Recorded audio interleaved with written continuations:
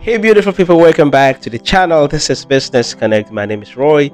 If this is your first time joining us on the channel, here we do videos about life in China, international students, how foreigners survive in China. I just share my experience as a foreigner living here in China. So if you're interested in such content, please don't leave the video without smashing that subscription button so that each time we do videos like this, YouTube will notify you and you'll be the first to watch our videos. So today's video will still be about the return of international students to China. Recently, a few universities have started sending emails to students reminding them to get prepared because they will be coming back to China very soon. But the most unfortunate thing is that not all students will return at the same time. They're going to prioritize students who are doing research, students who are about to graduate, students who have lab work, and so on. So, these universities that have actually sent out emails to students, what exactly uh, in these emails, what did the universities ask the students to prepare? So, okay, before we go into the usual analysis, first of all, I'm going to share a few of the screenshots that I received from some students from some different social media platforms. So this first one is from Jiangsu University. I'm going to read it exactly the way it is and if there are any analysis, we're going to do them together. And it says, Dear students who are currently out of China and willing to come back, which means that if you're not willing, fine. This is the notice from OEC, that is the Overseas Education College of Jiangsu University Intercurrent policy, students might be able to return to China in the further and returning will be step by step and trial basis. In this context, we will have some notices to make.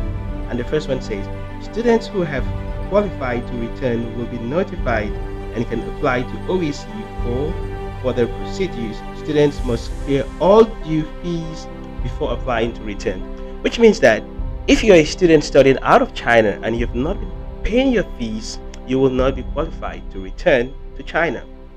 It says flight tickets and quarantine charges will be self paid by the students. Yeah, some students were asking, will the quarantine be free? Now you've heard, students will pay the flight charges and quarantine charges by themselves.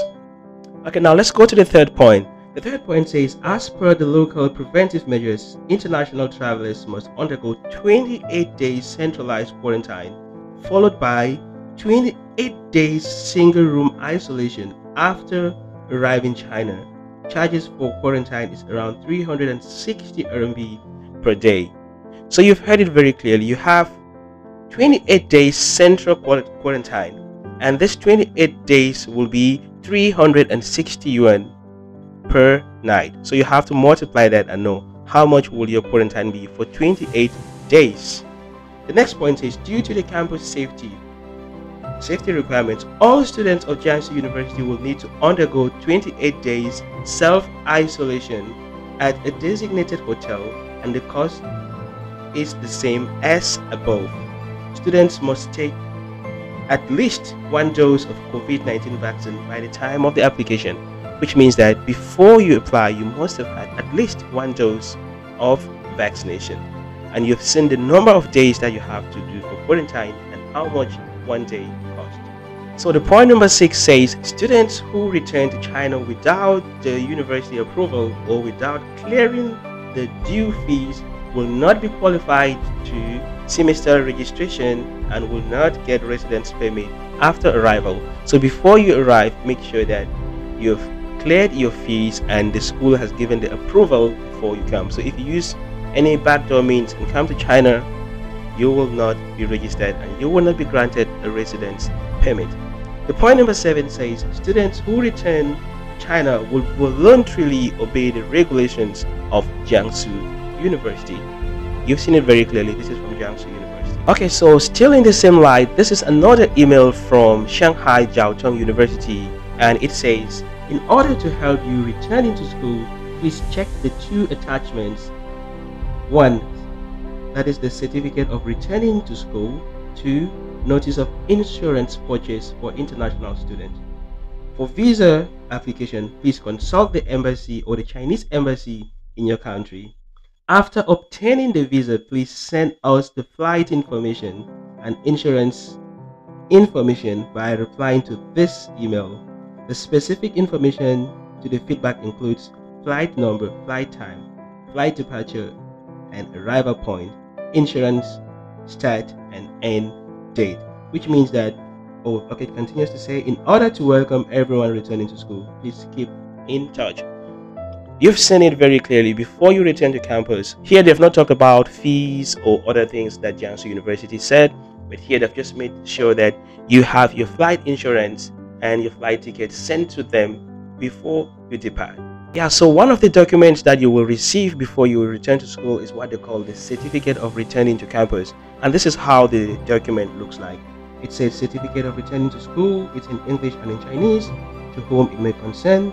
This is to certify that this is this I'm sure that your name and your school ID, nationality, Pakistan, is a PhD student in the School of Electronics Information of Shanghai Jiaotong University permit him to return to school to continue his studies.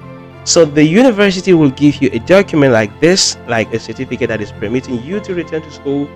I'm sure together with this and your flight ticket and maybe other information for new students, you will take this to the Chinese embassy in your country to apply for a visa that will permit you to return to China. Okay, now I've shared with you guys the information. Now let's do a few analysis. The first thing I would like to talk about is that not all students will return to China at the same time, which means that if you have not received an email, it doesn't mean you will not return to China. They've prioritized students who are doing practical courses, maybe like a test or a trial. Maybe after this, maybe they will start for students who don't have practicals. That's the first thing. The second thing, a few universities have sent emails. Not all the universities have sent emails. It doesn't mean that if your university haven't sent an email, it means they are not monks. Like I said, in China, things are done step by step. I said the same thing with the student support visa that once a few universities start this, before you know it, it will be a nationwide thing. And a few months later, it became a nationwide thing. Now, all students can work in China. Another thing that I would like to talk about is the different requirements that the different universities would ask for students to return to campus. All the universities will not give the same requirements. Some universities have asked for fees, some have asked for insurance and certificate of returning to campus and so on. Don't be surprised that other universities might ask for some other thing. They might ask to see your results, they might ask to see your attendance, if you've been attending online classes, they might ask for other things. So just be in touch with your university and make sure that you have continually you have continuously uh, attend your classes and you've paid your fees and so on because you don't know what the university will ask at the tail end and you've seen the cost of quarantine and so on. You've seen the number of days that quarantine will be. So these are all things that you need to prepare prepare your mind before the date of your departure. So guys i'll continue to share with you guys any information that i get as far as this topic is concerned even if i don't do a complete video like this i'm going to post them on my community timeline i'm going to post them each time I have valuable information. It's not that each time I find the listing I can post, each time I find the listing I can post. If I find information that I think is worth sharing, I'm going to post it on my community timeline. So if you're watching the video and you're not yet my subscriber, please do us a favor, hit that subscription button. Join us on the channel so that when we do videos like this, when I post things on my community timeline, we can talk about it, we can share our opinions, we can share our suggestions, and we can share our worries because once we share our worries, it reduces the anxiety. If you like the video, please don't leave without giving us a thumbs up, share it with someone, and please subscribe to join the channel. This is Business Connect. I will see you in our next video. Peace out and bye bye.